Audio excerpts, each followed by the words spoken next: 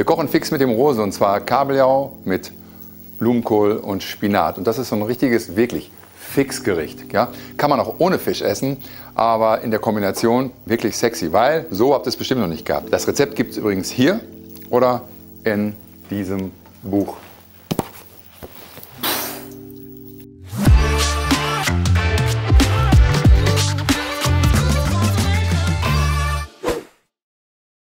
Wir nehmen ein bisschen Olio.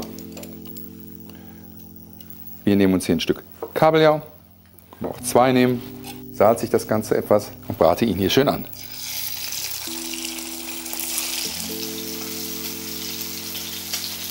In der Zeit, wo der Fisch brät, nehme ich ein bisschen Öl in meiner zweiten Pfanne. Dann habe ich mir hier ein bisschen Blumenkohl vorbereitet.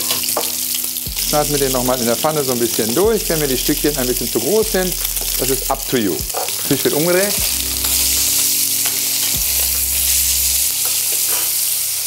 Schneid mir etwas Knoblauch. Gib den Knoblauch dazu.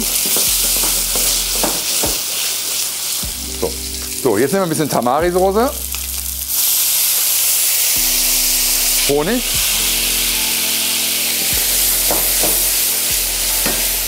Und wälzen unseren Fisch jetzt in dieser Honig Knoblauch-Tamari-Marinade.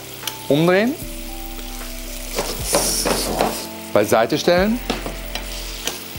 Und ziehen lassen. Jetzt habe ich hier diesen Blumenkohl. Ihr seht, ich salze ihn etwas.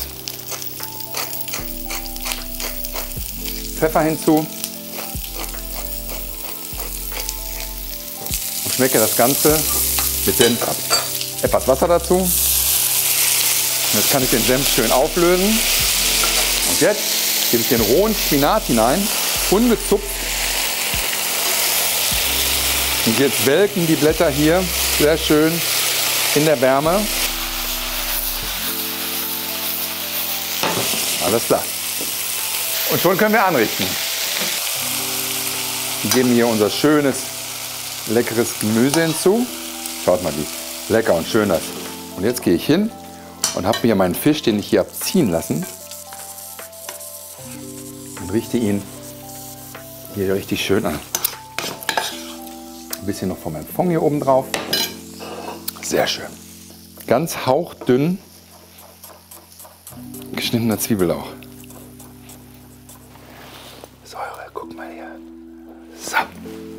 Kabeljau mit Blumenkohl und Spinat. Bisschen asiatisch, aber fix vom Rose. Viel Spaß.